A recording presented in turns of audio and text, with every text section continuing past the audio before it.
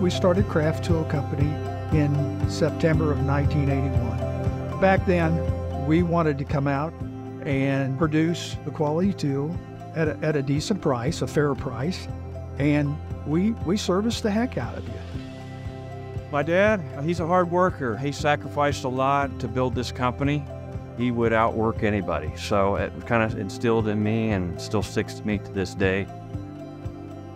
Over the years, I can say we've had a lot of good people, and you never get to where Kraft Tool is today without a lot of people helping you along the way.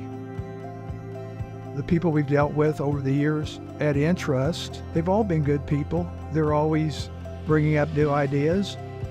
We've enjoyed working with them. Great people work for INTRUST.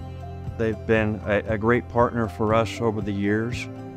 I can, can't express enough how important it is for the growth of our company as well. They were willing to take a chance on us. They've got my back, and uh, that means a lot.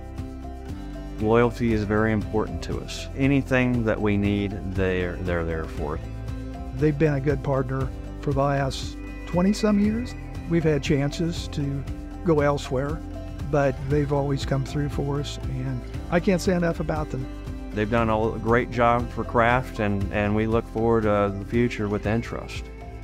We try to do the best for our customers, our employees. If we do that, I think we've done a good job.